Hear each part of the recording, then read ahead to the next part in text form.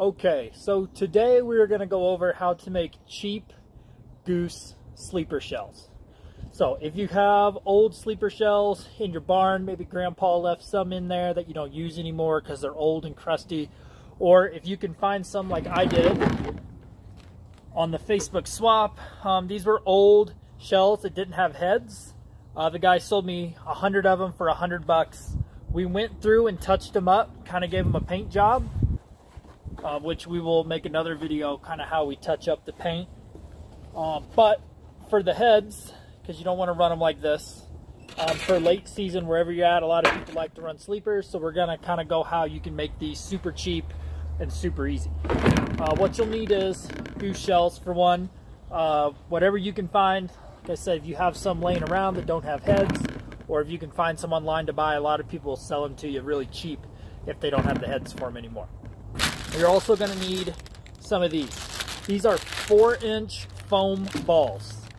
Uh, you can get them from Amazon. We bought a hundred of them for $49.99. So 50 bucks, they're about 50 cents a piece.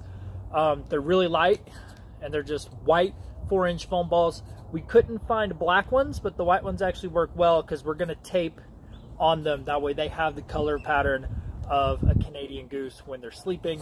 And then you're gonna need black spray paint or flocking I got the camo Rust-Oleum. Um, this is the paint I use to touch up the decoys. So I got a bunch left over and we're gonna use it to paint these. So we're gonna kind of go step by step. Basically what you're gonna do is take your foam ball, your painter's tape, rip off, this is an inch and a half thick painter's tape.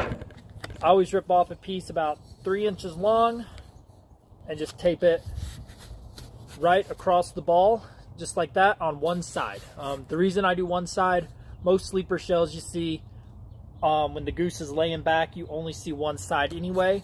Plus you can do this super fast, go through and uh, tape them as fast as you can. If you look over here, we've been going for a while now and we got a whole box of them in here. They're all painted. I did this all in about, I don't know, five ten minutes. You just rip them open, paint them as fast as you can, or tape them as fast as you can, and then when you're done, move on to the next bag. Okay, so from here, we have all of our white foam balls. Those are four inch foam balls you can get from Amazon taped.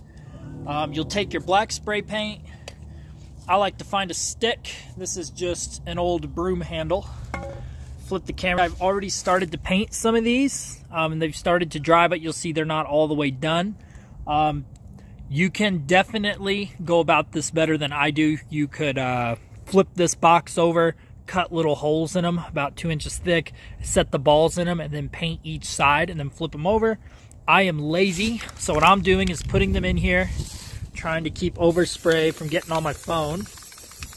And I'm just going through and painting these all black the best I can. Sorry, not great camera work while I'm painting. Definitely not a cinematic masterpiece. Going through and I'm painting them the best I can here. You see how black you can get them. Kind of letting those dry. And then once those dry, we're going to take our stick. We're going to just kind of stir them around until we find the parts that still have a little bit of white on them. And we're going to touch those up with the paint as well.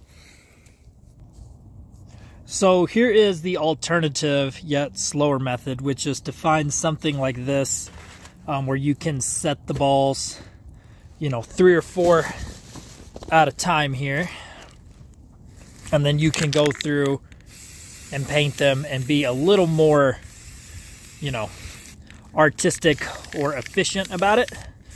Um, you get a lot better paint this way but obviously, it's going to take a lot longer to do it if you're doing 100 at a time. But this is a better way to do it if you want to make sure you get all those spots instead of just spray painting all of them together. Although either method works, I prefer when I'm doing a whole bunch of them to do it this way or to at least do the first uh, cover in the box and then kind of pull them out one at a time once they've dried and kind of hit them over with this to touch them up. Um, but either way, Um, paint them however you see fit and whatever works best for you. Just try to make sure you get enough coats on. It sticks pretty well to this foam, uh, but you will want a few coats because when it starts snowing, um, when you start getting in bad weather, running these things, you don't want the black to just peel off super easy. So I'm going through painting them, getting them as good as I can here. You can see that right there needs to be touched up a little bit. Get it as painted as I can. Drop it in the box. Do the next one. That one looks pretty good drop it in the box, and then basically just keep going until you get all of them done.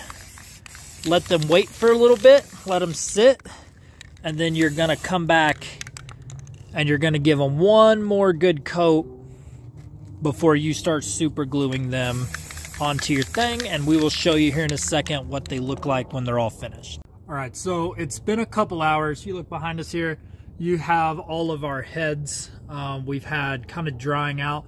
Um, I usually let them dry completely and then I will hit them with a second coat of paint because a lot of times that foam will actually, you'll see it kind of degrade as the paint gets into it. Um, so we will take a step back over here. Um, some of these still need an extra coat. That's why they're sitting here. You can kind of see what I'm talking about, how you can kind of see some of the white um, but you'll take the tape off and this is your final product. So it's windy. I like to set them kind of at an angle just like that. Um, you got to glue them down, obviously. I just set some of these on here to show you, but this is what they end up being. So we painted these shells. Uh, they were old and crusty. They didn't have heads. We put these heads on um, from the air. They look pretty good, especially when you mix them in with the decoys you're already going to be running, your full bodies and stuff. Um, so yeah, this is the finished product. Uh, leave a comment. Let us know how you, what you think they look like, what you think. Uh, we'll be posting another video how we painted these decoys and touched them up. Um, but yeah, this is the finished product for those sleeper heads. It's a great way to kind of refurbish older decoys or if you can get decoys cheap and run a bunch of sleepers late in the year when that weather's really bad and you want to run a bunch of these on top of the snow or on top of the ice. So leave a comment, like, and subscribe. And uh, yeah, let us know what you think or ask any questions about the process. Thanks for tuning in, guys.